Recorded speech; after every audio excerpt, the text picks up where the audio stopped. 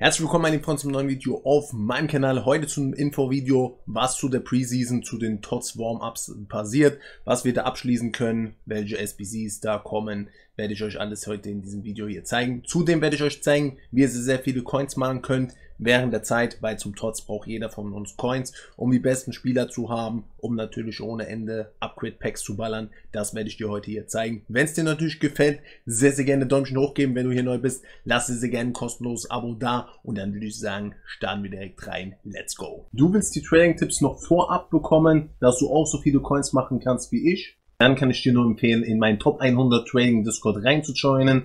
Wie du hier reinkommst, fragst du dich jetzt sicherlich und das ist relativ einfach. Einfach mit einem Twitch-Sub kannst du hier reinkommen. Mein Twitch-Kanal ist unten verlinkt. Oder wenn du sagst, ey, ich habe keinen Twitch Prime, um so gesehen kostenlos beizutreten, kannst du natürlich auch mit einer YouTube-Mitgliedschaft reinkommen. Da habe ich ja auch ein Jahresticket, kannst du einmalig kaufen und bist dann das komplette FIFA-Jahr am Start. Wir haben sehr, sehr viele, die letztes Jahr zwischen 50 und 100 Millionen Coins durch unseren Trading Discord ertradet haben. Kommt da sehr, sehr gerne rein, wenn ihr Interesse habt. Schaut natürlich noch gerne bei meinem Partner Neba vorbei. Erster Link der Videobeschreibung. Aktuell sogar auf jeder PSN-Karte 15% Rabatt. Gönnt euch. Ja, Freunde, und dazu gehen wir natürlich in die SBCs. Da sind einige gekommen. Da gehen wir natürlich drauf ein, was gekommen ist. Hier haben wir auf jeden Fall wieder ein tägliches Anmeldebonus hier. Am Start können wir wieder mitnehmen. Gehe ich mal von aus, dass man hier wieder Bronzekarten abgeben muss. Also nimmt das auf jeden Fall mit. Das werden wir auch gleich noch öffnen. Ähm, ja, eine Bronzekarte ähm, werden wir wieder auch eine Hauptbelohnung bekommen, schauen wir uns auch gleich noch an bei den Zielen, was wir dafür dann bekommen. Nehmt das aber auf jeden Fall jeden Tag mit. Eine Bronzekarte für 281er ist auf jeden Fall schon mal sehr, sehr gut. Dann haben wir den guten Zam Podcasten bekommen. Ähm, geile Karte, muss man natürlich sagen, 5-5.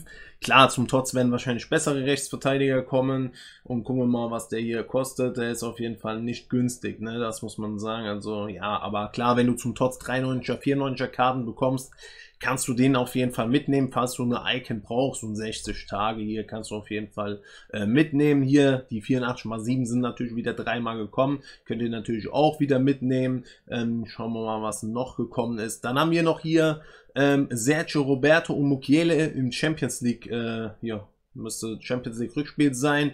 Ähm, ja, ich denke mal, dass es so zählt, äh, wer das Spiel gewinnt, weil es kann ja auch sein, obwohl wenn es 1-0 ausgeht, theoretisch nach 90 Minuten für Paris gibt's ja gibt's Verlängerung.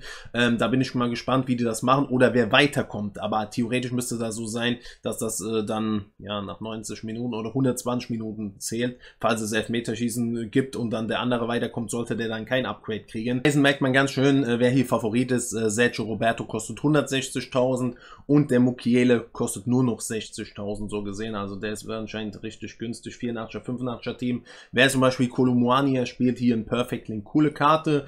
Ähm, dann haben wir hier, wie gesagt, Roberto. Der müsste teurer sein. Ja, der ist deutlich teurer. 2 in vom 86er, 87er Team. Ja, wer da drauf Bock hat, ein Barcelona-Team. Ist eine coole Karte als ZM auf jeden Fall besser spielbar wie der als Rechtsverteidiger. Kann der Innenverteidiger leider nicht. Wer würde der Innenverteidiger kommen können, wäre der richtig geil.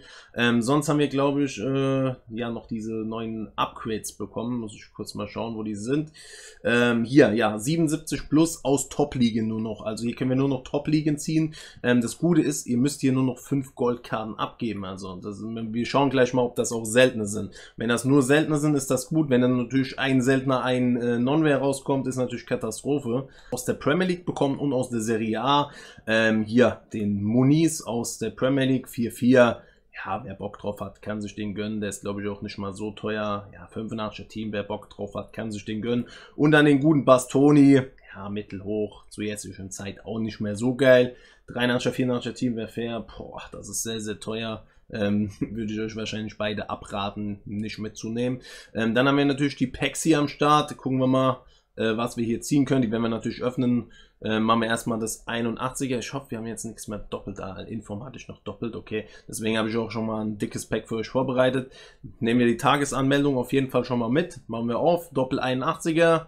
Ähm, vielleicht Parejo. Thiago ist es wahrscheinlich, ja. Dose ich jetzt auch ab. Kein Bock jetzt zu recyceln, äh, sonst geht das Video hier ewig. Äh, ihr würdet natürlich recyceln, ist natürlich schlauer. Testen wir mal die. Hier habe ich jetzt vier Stück von vorbereitet. Schnell, gucken wir mal zwei seltene sind und was man hier rauszieht. RM, dann ist dieser Easy, glaube ich, das ist auch Katastrophe. Sind wenigstens zwei selten. Dann ist das sogar okay, dann kann man die auf jeden Fall mitnehmen. Ähm, das ist nicht verkehrt. Also vielleicht bereite ich da fürs Tots dann Ladung vor, dass ich dann da sage, ey, ich mache da 500 Stück von denen. Weil das ist eigentlich sogar okay. Du kriegst zwei Stück wieder zurück. Ähm, ob die halt gut sind, ja, muss man mal gucken. Aber 3, 4, 500 Stück könnte man da fürs Tots auf jeden Fall vorbereiten. Ich werde jetzt mal trotzdem aufmachen. Ähm, aber ja, wieder dieser Easy oder was? Nee, Asensio, du wirst ja halt hier trotzdem zu 90% halt nur Müll ziehen. Weil beste Karte bis jetzt 83, aber ja, du gibst halt auch nur 5 ab und kriegst 3, 2 zurück. Das ist schon nicht verkehrt. Trend ist sogar ein Walkout. Also vierte Pack Walkout ist sogar, ja, ist okay. Kann man sich jetzt nicht beschweren, muss man ehrlich sagen. Ähm, den haben wir allerdings schon. Den recycle ich, den recycle ich jetzt kurz und dann machen wir noch das dicke Pack auf.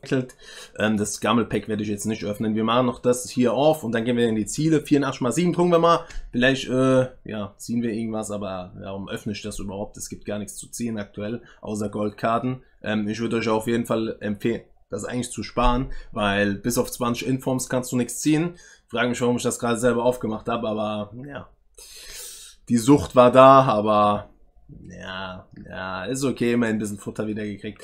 Die werde ich später wieder in so ein Ding reinklatschen. Ich werde die jeden Tag jetzt mitnehmen und glaube ich fürs Tots sparen. Es lohnt sich nicht, die aufzumachen, muss man wirklich sagen. Ähm, dann gehen wir natürlich in die Ziele rein. Was haben wir bei den Zielen bekommen? Und auch hier haben wir sehr, sehr guten Content bekommen. Ähm, da gehen wir natürlich rein. Ähm, was haben wir hier bekommen? Gehen wir natürlich zu live und hier sehen wir schon, dass wir diese Tagesspiele wieder bekommen haben. Die könnt ihr wieder mitnehmen, kriegt ein paar Packs. Nehmt das auf jeden Fall mit, macht jeden Tag drei Spiele und wenn ihr Squad Bells drei Spiele einfach durchlaufen lasst, ist ja völlig egal. Dann bekommt ihr das hier, wenn ihr das hier jeden Tag mitnehmt. Ja, ist okay, sind so ein paar Gammel-Packs, ein 5x85 äh, 2000 EP auch nicht verkehrt.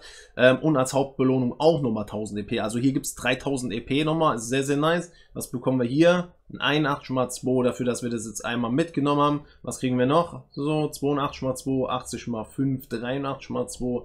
Ja, auch noch ein paar Gammel-Packs, sag ich mal. Ähm, sonst eigentlich nichts Relevantes. Und dann noch hier Tots aufwärmen und gewinnen. Ähm, für 5 Siege, egal wo. Ein Kessler, kriegen wir noch was dazu? Ah, noch ein Pack immer, oder was? Gibt hier immer noch ein Pack dazu? Auch noch ein Futre Hero. Anscheinend gibt es dann immer noch ein Pack dazu, okay. Also immer noch ein Pack dazu und die ganzen Heroes gibt es jetzt gratis. Ja, ist okay, dafür, dass du einfach äh, gewinne drei Partien, ah, die musst du alle da kombinieren. Da kriegst du auch nochmal ein dickes Pack. Ist okay, ist okay, nimm wir gerne mit. Ähm, ja, musst du auf jeden Fall die nicht spielen zum Glück. Wenn man die jetzt 25 Spiele mit so einem Die Natale machen müsste, wäre Katastrophe. Ist okay, kann man mitnehmen. Ähm, kriegst du als Hauptbelohnung nochmal ein 84 mal 5. So, man spielt eh ein paar Spiele, dadurch kriegt man die Dinger eh die drei Siege hier kann man ruhig holen, indem man die alle in ein Team klatscht und dann geht das auf jeden Fall klar, meiner Meinung nach. Ist okay, kann man mitnehmen, ist jetzt nichts Besonderes. Ähm, gehen wir weiter, gehen wir zu Season, haben wir hier noch was bekommen? Ich glaube, sieht nicht so aus, als ob wir hier was bekommen haben. Ne, Meilensteine wahrscheinlich auch nicht und dann können wir eigentlich in die UV-Liste reingehen, wie ihr die Coins natürlich machen könnt während des Tots. Ich habe auch zwei oder dreimal gespeichert, was ich verkauft habe. Wir gehen hier die Verkäufe durch. Ähm, gucken wir einfach mal, ähm, was ihr natürlich an Budget habt, habt ihr High Budget, könnt ihr natürlich diese Liste eins zu eins übernehmen. Habt ihr Low Budget, würde ich euch empfehlen, meine letzten, letzten äh, Videos anzuschauen. Da macht ihr nichts verkehrt. Natürlich könnt ihr auch hier, hier diese günstigen Karten, wie ein Malen, hier ein Tevis, zum Glück ist der noch weggegangen und der Licht, der ist auch wieder zu ziehen.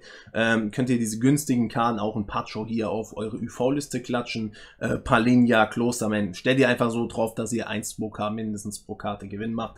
Ich denke mal, das Prinzip ist klar. Dasselbe mit diesem Dest hier. Ähm, Van Dijk geht immer noch sehr, sehr gut UV. Valverde habe ich, glaube ich, für 14k oder so geholt. Also da macht ihr wirklich gar nichts verkehrt, wenn ihr diese Karten ähm, so sucht. Jetzt werde ich euch kurz hier die Aufnahmen suchen und dann werde ich euch hier auch nochmal die Durchläufe zeigen, was wir da die letzten zwei Tage noch verkauft haben. Verkäufe, ja, ich habe auch sehr, sehr gut mit den Icons getradet. Hier Ribéry pro Karte, ich glaube 15.000 ungefähr gemacht, also schmeckt richtig. Ihr seht, die Icons laufen richtig geil. Ähm, wer da Bock drauf hat und sagt, ey, ich möchte täglich diese UV-Liste haben, kommt natürlich gerne in meinen Top 100 Trading Squad. Kann ich wirklich jedem nur empfehlen. Für einen Sub auf meinem Twitch-Kanal kommst du so gesehen gratis rein, wenn du Twitch Prime hast hast, kannst du einfach bei meinem Kanal einlösen, dann äh, Twitch mit Discord verbinden und dann kannst du schon so gesehen alles sehen. Diese ganzen Spiele eins zu eins so nachkaufen. Da empfehle ich auch die Preise, wie ich diese Spiele reinstelle. Ich kann jetzt nicht hier im Video, kann ich auch nicht jede Karte empfehlen, ey, ich stelle die so und so rein. Das waren noch Karten, die ich hier gezogen habe. Das ist unrelevant. Wir gehen nochmal zum nächsten Part. Ich habe nochmal einen Part aufgenommen.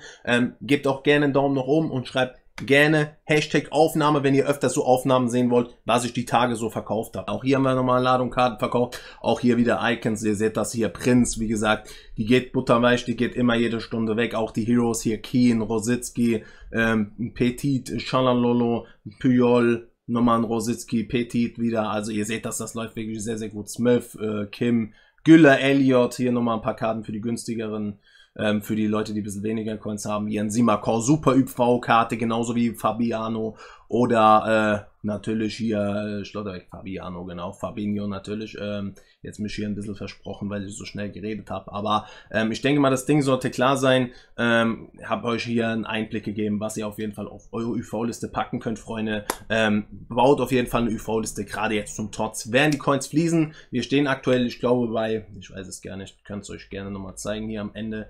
Ähm, über 50 Millionen Coins sind wir auf jeden Fall. Ähm, bei wie viel zeige ich euch natürlich gerne nochmal bei wie viel Coins wir aktuell stehen, bei 53 Millionen fast. Also schmeckt auf jeden Fall sehr, sehr gut. Lass dem Video gerne ein Follow da und folge gerne für mehr, wenn du so Tipps nicht mehr verpassen möchtest. Ich wünsche einen schönen Tag. Haus rein und ciao, ciao!